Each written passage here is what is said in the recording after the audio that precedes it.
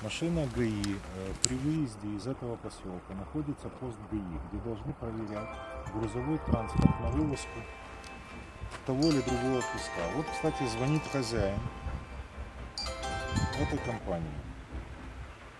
Алло. Да, я еду, я уже проехал КП по детской трассе, то есть минут 30 я буду, я буду там. Очень хорошо, что вы едете. Это, я так понимаю, вы хозяин этой компании, да? Да.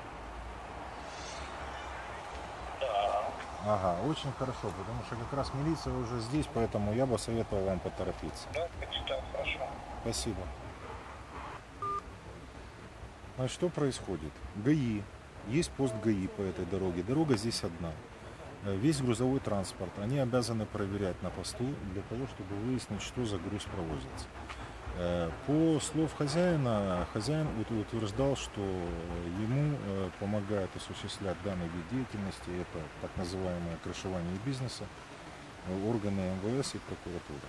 Я так понимаю, что ГАИ тоже здесь в какой-то спильце, потому что реакцию ГАИ вы только что видели. Подъехала машина, когда сказали, надо проверить документы у водителя, ГАИ быстро исчезла.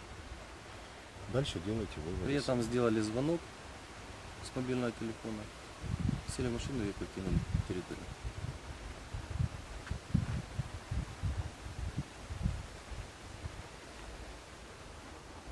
Они стоят, они были Да пускай хорошо стоят, они спрятались. Они спрятались. А вот теперь ты подойди просто ближе, Да, да, ГАИ. да, потом, потом. Не надо, не надо. Ладно, ладно,